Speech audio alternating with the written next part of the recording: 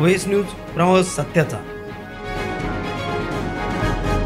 सध्या शिर्डी शहर काही ना काही कारणांमुळे चर्चेत आलं असून यात आणखी भर पडली आहे ती नुकतीच श्री साईबाबा मंदिर परिसरात असलेल्या पार्किंगमध्ये उभ्या असलेल्या कारची.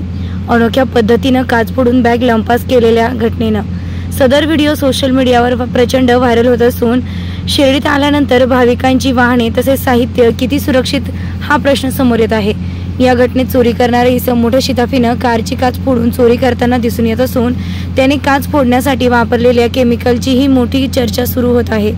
या घटनेविषयी शिर्डी पोलीस स्टेशनला विचारले असता यात कोणीही तक्रार दिलेली नाही. मात्र जरी गुन्हा दाखल नसला त्या इसमाला शोधण्याचा प्रयत्न सुरू असल्याचं सांगण्यात आलंय.